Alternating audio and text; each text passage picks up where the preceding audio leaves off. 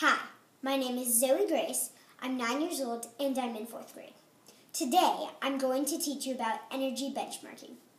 What is energy benchmarking?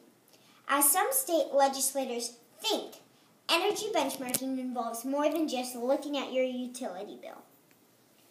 It uses data to compare like to like. You can't manage what you don't measure. Comparing the energy use of my home to my school wouldn't make sense.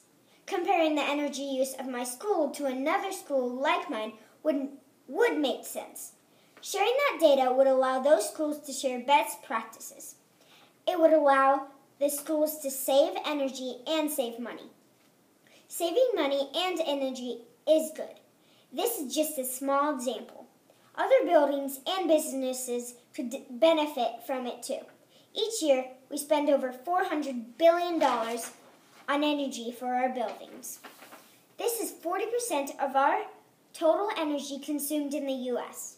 Energy benchmarking also reduces greenhouse gas, which is good for our planet. This is the only planet we have to call home. I think I'm worth the extra effort. So is our planet. Many cities and states take energy benchmarking seriously. There's no record of anyone being shamed for doing it. That's just silly. My academic testing at school helps my teacher understand how I'm doing. This data helps drive our future studies to improve our performance. Energy benchmarking does the same thing but for buildings.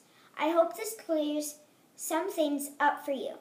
If you'd like to learn more, and I think you should, visit EnergyStar.gov or simply Google benefits of energy benchmarking. Thank you for your time.